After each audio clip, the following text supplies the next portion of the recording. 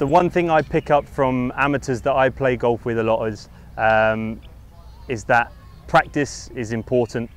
Uh, and when you've got a hole of putt against your mate at the weekend from six feet, you don't do the practice that we do on tour, but can you go to a two thumb grip, use the muscles that you're supposed to be using, lock your shoulders in and hold that putt to beat your mate. So get yourself a two thumb grip, hold it properly and beat your mate.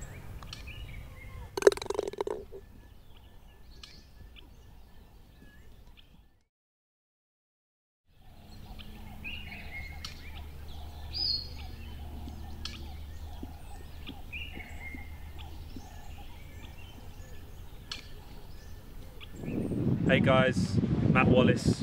Uh, talk about the two thumb grip, something that I've used since 2014.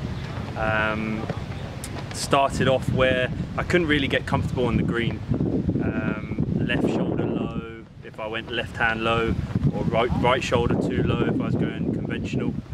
And I picked up a, a two thumb grip from a friend of mine and was able to get my shoulders square and shoulders level. Um, I like to, to use the putting stroke as a pendulum stroke, um, something like the grandfather clock sort of visual.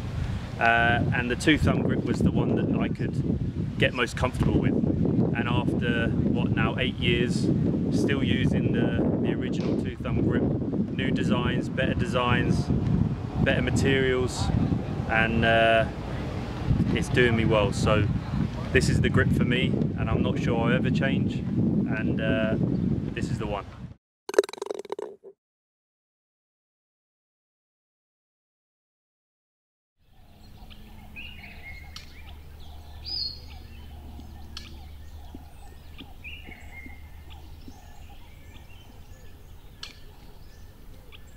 Okay, I'm going to talk to you about how I uh, grip the club um, and how I like to to set up and hit all my putts. Uh, a lot of people ask me what I do with my with my grip.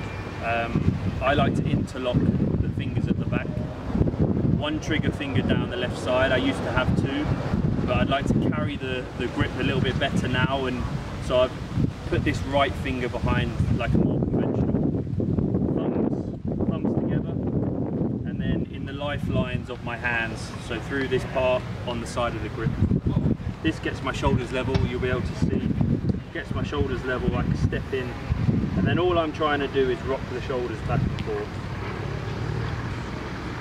And what I'm doing at that impact position is I'm getting back to where my setup is.